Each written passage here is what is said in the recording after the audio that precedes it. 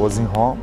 And my coach Dórea called me, told me about the fight. You know, he said, "Oh, you got your debut you know, on UFC now." But then he said, "Hey, wait, it's gonna be against Werdum. Really, Werdum?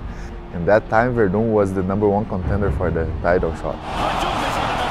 Oh, I felt like they put me against him just to lose, to he make one more fight and then fight for the title.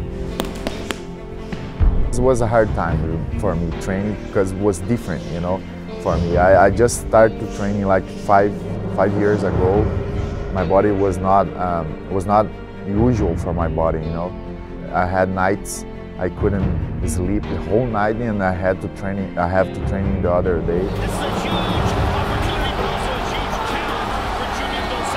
Pressure was was on me. I was feeling like oh my gosh I, am gonna fight against Werdum, one of the, the biggest fighters in the world, man, you know, heavyweights.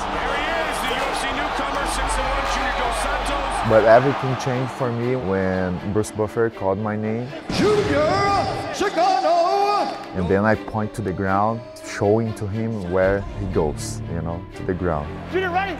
Go guys! When I start the fight, I try to, to see what's gonna be his uh, reaction. If he wants to try to take me down very early or he will accept the striking. Dos Santos probably doesn't want to mess with the ground game of Fabricio Werdum. Werdum is is really good on Brazilian Jiu-Jitsu, but he accepted a little bit the striking. That was a good thing for me. Oh, good leg kick by Dos Santos. I gave a, a like a hook, and he walked two or three steps back. One of the, my best punches is my uppercut. I thought now is the time to use my uppercut. It was right on the point.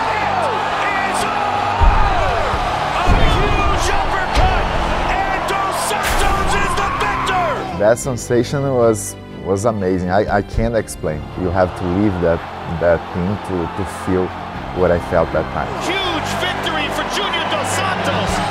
The first thing I thought, uh, I'm I'm a real UFC fighter. I know I'm good opponent for anyone. That was the guy that everybody looked to be the next top guy in the division, and Junior Dos Santos just put him away. For me, is the best fight on my career because it was my debut and against one MMA superstar at that time, and I won, you know. Junior